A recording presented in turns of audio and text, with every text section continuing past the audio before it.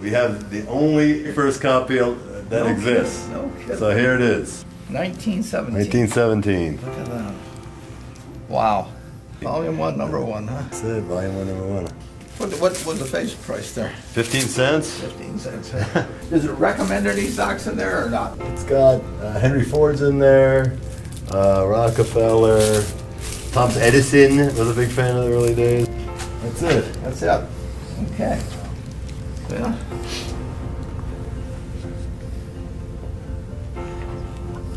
You ever make any? women? They had a whole women in business uh, Yeah, section. which was yeah. the They were ahead of the, quite a bit ahead of the time. So the idea for the cover to connect 100 years where you were Yeah. looking at the first issue, and then we actually have technology where people will be able to take a picture of the uh, cover with their smartphone and a video, and it's artificial intelligence, and people can ask a question, and it will you, you can have an interactive conversation shot off the cover.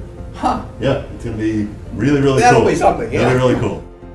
Hi, I'm Warren Buffett, and we're celebrating the 100th anniversary of Forbes magazine by answering your questions.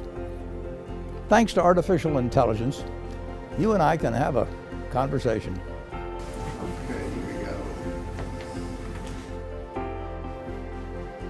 Can hold it a little bit higher up. Yeah. And eyes back at me a little bit. Uh, peeking over. That's good with a little And bring the magazine a little bit lower. Are you finding any stock tips in there? Yeah, it's just, it says, look out for this new guy, Robbie.